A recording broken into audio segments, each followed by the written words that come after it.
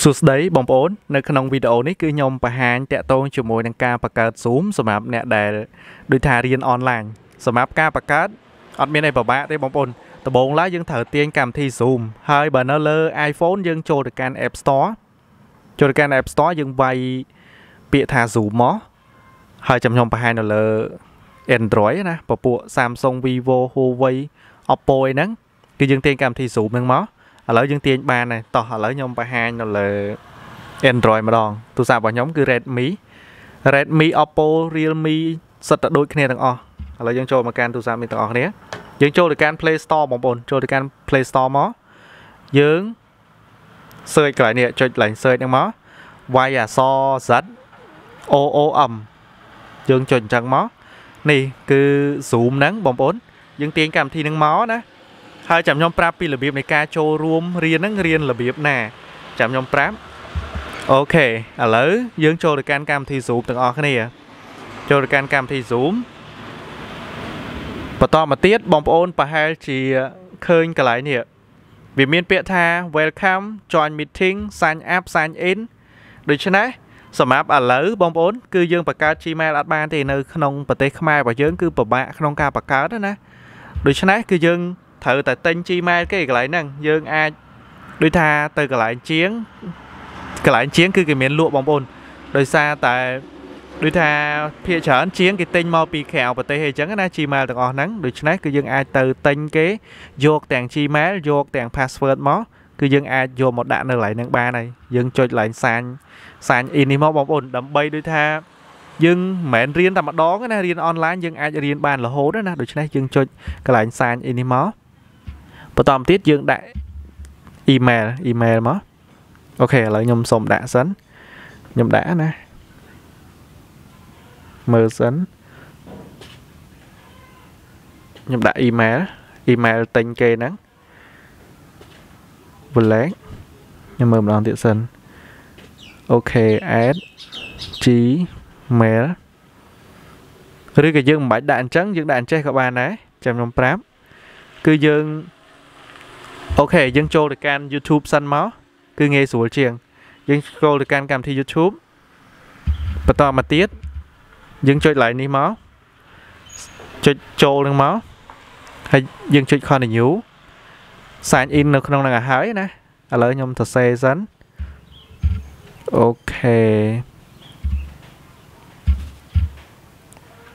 យើងបន្ទាប់ពីយើងដាក់ Gmail ហើយយើងចុចបន្ទាប់មក បន្ទាប់ទៀតវាឲ្យដាក់ password ដាក់ password ឡើយហ្នឹងគឺខ្ញុំសុំមិនបង្ហាញបងប្អូនទេ គឺខ្ញុំសុំលើកឡើងលើបន្តិចអូខេខ្ញុំដាក់សុំដាក់ password សិនពេលដែលយើងទិញគេហ្នឹងបើយើងមានចាស់ហើយយើងអាចនេះបានបងប្អូនប៉ុន្តែយើងត្រូវចាំ password ដែរណាបើយើងមានអា Gmail ចាស់ហ្នឹងគឺយើងអាចយកមកប្រើបានបើយើងអត់មាន មានតែយើង ទិញគេទេបងប្អូនយើងទិញគេទៅស្រួលអញ្ចឹងយើងជួយបន្ទាប់មកយើងសុំគេទាំងនេះអា Gmail ខាងលើហើយនឹង password មកគឺបានហើយបន្ទាប់ពីយើង sign in បែបហ្នឹងហើយអ្វីដែលយើងត្រូវធ្វើបន្តហ្នឹងគឺយើងចូលទៅកាន់កម្មវិធីយើងដូចថា Zoom របស់យើងវិញហ្នឹងចូលទៅកាន់កម្មវិធី Zoom ហើយបងប្អូនចុចពាក្យថា sign in sign in ដើម្បី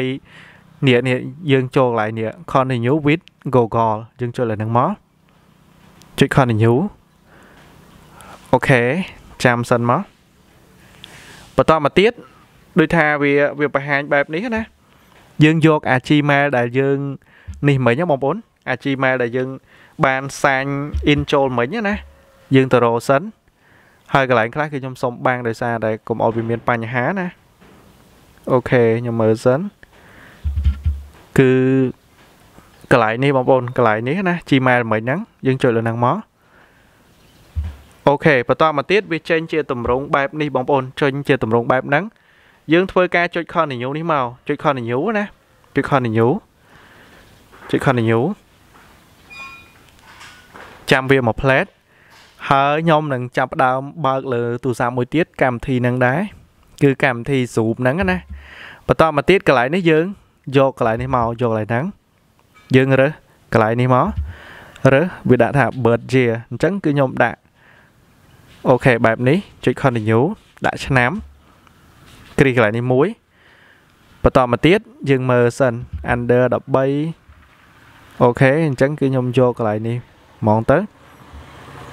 okay យកកន្លែងហ្នឹងយក create account create account create account ហើយបន្តទៀតចុច continue មក continue វារើសកន្លែងនេះបងប្អូនវាដាក់ថា your organization information name of organization ឥឡូវខ្ញុំចេះដាក់ទៅចេះដាក់កន្លែងនេះ street ខ្ញុំដាក់150 city ខ្ញុំដាក់ភ្នំពេញភ្នំពេញភ្នំពេញ zip code ខ្ញុំដាក់12000កន្លែងនេះ country យើងរើស កម្ពុជាមករើសកម្ពុជាណារើស Cambodia របស់យើងហ្នឹងរើស Cambodia ណាណាខ្ញុំមើលសិនឃើញកូឡុំប៊ីអូខេខ្ញុំរត់ឃើញទេកាមេរូនឥឡូវយើងវាយហ្មងទៅ C A M នេះ Cambodia បន្តមកទៀតកន្លែងនេះ state យើងដាក់ភ្នំពេញទៀតមកភ្នំ ពេញហើយបន្តមកទៀតកន្លែងនេះយើងអត់មានមិនបាច់ដាក់ទេអញ្ចឹងយើងយកកន្លែងនេះវាមានដូចថា teacher order អញ្ចឹងខ្ញុំយក order ខ្ញុំមិនមែន teacher ណាអញ្ចឹងយើងចុច continue មកចុច continue បន្តមកទៀតយើងចុចឡើងនេះមកនេះបងប្អូនចុចឡើងនេះមកចុចឡើងហ្នឹងអូខេឥឡូវយើងរងចាំវាមួយ plate យើងរងចាំវា ដល់វាដើរកន្លែងហ្នឹងចប់ណាហើយចាំខ្ញុំប្រាប់ពីរបៀបនៃការចូលតើយើងចូលរបៀបណាអូខេកន្លែងនេះយើងយកខាងលើមក allow ចុច continue យើងបង្កើតបានហើយយកយកកន្លែងនេះយើងយក not now សិនមកយក get start អូខេបងប្អូនពេលដែលចេញបែបហ្នឹងហើយចេញបែបហ្នឹងហើយអ្វីដែលយើងត្រូវនេះហ្នឹងដូចថាយើងចង់ចាញ់ មានន័យថាគេអាចផ្ញើឲ្យយើងណាផ្ញើលក្ខណៈ link ចាំខ្ញុំប្រាប់ពីរបៀបនៃការចូលអូខេប្រាប់ពីរបៀបនៃការចូលថាយើងចូលរបៀបណាក្នុងការចូលគឺអត់អីពិបាកទេគេគ្រាន់តែផ្ញើ link មកយើងចុចទៅគឺចូលទៅកាន់កម្មវិធីនឹងតែម្ដងមានន័យថាយើងអាចរៀនបានតែម្ដងណាគឺអត់មានអីពិបាកទេដូច្នេះក្នុងការដែលយើងធ្វើគឺស្រួលស្រួលទេបងប្អូនបន្ទាប់ពីយើងបង្កើត Zoom បានមកបងប្អូន ដូចថាដល់ម៉ោងដែលត្រូវរៀនហ្នឹងគឺដូចថាអាចចូលទៅកាន់ link ដែលគ្រូរបស់យើងហ្នឹងផ្ញើឲ្យយើងបងប្អូនតោះឥឡូវយើងចូលទៅកាន់ឆាតទាំងអស់គ្នាដែលដូចថាខ្ញុំមានជាលក្ខណៈ link បែបហ្នឹងណាដែលគេផ្ញើមកតែប៉ុណ្នេះក៏បានឬក៏តិចជាងហ្នឹងក៏បានដែរឥឡូវយើងធ្វើការចុចលើហ្នឹងមកអូខេចុចលើហ្នឹងបន្តមកទៀតយើងយើងចាំវាមួយ plate សិនណាបងប្អូនដោយសារតែអូខេយើងមើលសិន មើលសិនយើងចុចម្ដងចុចចន់ម្ដងទៀតមកអូខេឥឡូវយើងចុចម្ដងទៀតបងប្អូនយើងចុចម្ដងទៀតបើចូលអត់បាន គឺយើងធ្វើការចូលតាមនេះវិញនេះយើង copy អាកន្លែងកន្លែងកន្លែងនេះបងប្អូនប្រហែលជាឃើញដាក់ ID ហ្នឹងមកណាយើង copy វាមកយើងដាក់ទៅវិញចេះសិនដាក់ទៅវិញហើយយើង copy អានេះអាលេខនេះលេខហ្នឹងមក អូខេយើងយកពាក្យថា copy ចូលទៅកាន់កម្មវិធី Zoom មកយើងចុចពាក្យថាជាន់ជាន់ហ្នឹងមកបន្តទៀតយើងដាក់អាលេខមិញហ្នឹងមកណាដាក់លេខហ្នឹងមកដាក់លេខហ្នឹងមកយើងចុចពាក្យថាជាន់ជាន់មកអូខេបន្តទៀតវាឲ្យដាក់ password មិញណាបងប្អូនអា password នេះអា password ខាងក្រោមនេះតាមនឹងក៏បានដែរដោយសារយើងចូលតាម link អត់បានអូខេយើងដាក់ password ចឹងមក ហើយចុច continue មកចឹងមកគឺយើងអាចដូចថារៀនបានណាបងប្អូនប៉ុន្តែខ្ញុំសូមបាត់កាមេរ៉ាកន្លែងហ្នឹងណាយើងចុចជាន់មកជាន់គឺយើងអាចរៀនបានហើយមានន័យថាយើងកំពុងតែមើលមុខជាមួយនឹងគ្រូណាបងប្អូនកន្លែងហ្នឹងគឺយើងអាចធ្វើបែបហ្នឹងបានសម្រាប់អ្នកដែលមិនទាន់ចេះបង្កើតគឺអាច